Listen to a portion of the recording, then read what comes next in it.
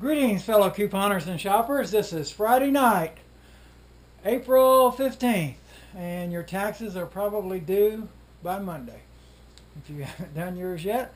Anyway, uh, this is my little Kroger run. Uh, we're still in uh, the latest mega event sale. This is week two in my area, which ends next uh, Tuesday.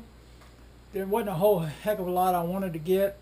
But I did have some good coupons to make uh, for some good deals on tomatoes and power bars. The uh, red gold uh, tomatoes are uh, 49 cents, and I had two e coupons taking 80 cents off of four. And I had one printable, which was 75 cents off of three. So I got 11 cans. Uh, eight of them were going to be what uh, 49 minus the 20 cents each, uh, 29 cents a can. And then the other ones were going to be uh, 24 cents a can, three of them. So I got that. That's the first 11 items I got. I did get 20 items altogether. Takes 50 cents off at the print at the uh, register if you don't have any coupons. Of course, if you do, it makes it even better. Uh, the wishbone, there's these that says new on them. This is the EVOO, which basically stands for extra virgin olive oil. Uh, they're made by Wishbone. And there is also the Ristorante, uh, which are also made by Wishbone. They were part of the mega sale at $1.99. Now in last Sunday's, which would be the 410 Smart Source, there's a dollar off of one coupon. So that made those 99 cents. Now the power bars, these were 49 cents also. I had an e-coupon, two e-coupons. One was uh, $2 off of four, which basically means four of them were free. And then I had another e-coupon, which was uh, 50 cents off of two.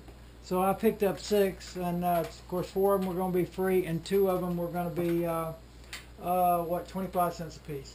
So that's not bad at all for the power bars. I needed one other thing, uh, filler, and it came down to a choice between uh, Kraft cheese or some Pringles potato chips. Kraft was uh, 249, the Pringles was 99, so I went ahead and went with the chemical cheese. All right, we still got the, uh, and that takes care of the uh, mega event. That's those 20 items. And we still got the Taste of Spain promotion going on.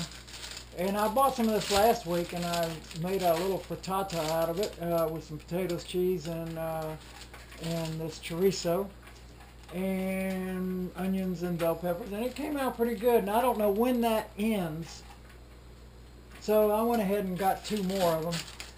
And I also picked up another jar of olives. Last week I got the uh, I think Marbella, Marbella, uh, green olives or whatever, and these are the Majorca black olives.